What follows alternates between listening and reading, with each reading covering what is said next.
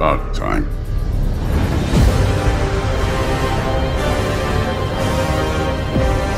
I've been waiting for this. You're not from here. We got a tradition called blood payments. It means I get a piece of you for what you took from my family. You'll pick it up.